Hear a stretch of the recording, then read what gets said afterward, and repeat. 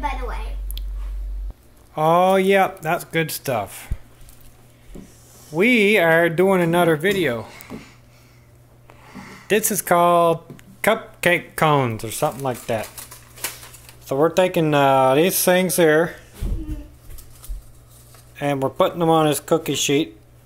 A little Miss Helper Outer here I already made up us up some uh, some water on this so funfetti. That, that, That stuff there. Daddy, make it- make it normal. this- Can you get this wet a little? Yeah, there you are. So we're gonna put three teaspoons or three tablespoons of that inside of each of those.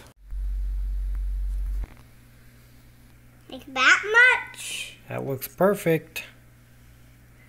Okay. Don't want to overfill them. Just a little over halfway is good. Um, I decided to do this one, but this one is a little squatty, so I moved it. I think it looks great.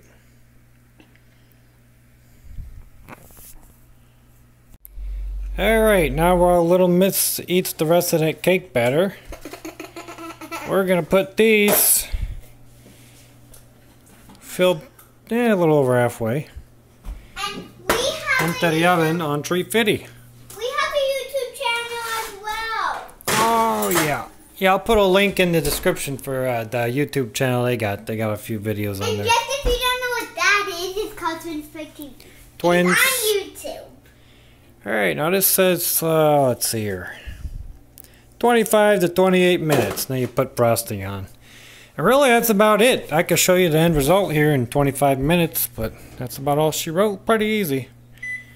20. And, and we'll start with look- 20. Look how tiny this fork is.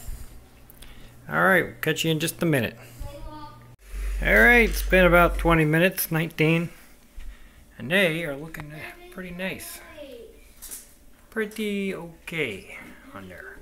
So that's what they look like. And they just put the icing on. We're going to wait, let the Girl Scouts do that in a couple days. But that's about all she wrote. Uh, I'll put some links in the description. Uh, the kids, the kids want me to show you guys what their whole thing is. So I'll put a link in for that. And then I'll put a link in for the stuff I use, but it's pretty simple stuff anyway. Alright, uh, give us a like, a subscribe, a share. Appreciate all that, and we'll see you next time. Well, I think that's what she wants to be, but she also wants to be with me when she grows. This is looking good.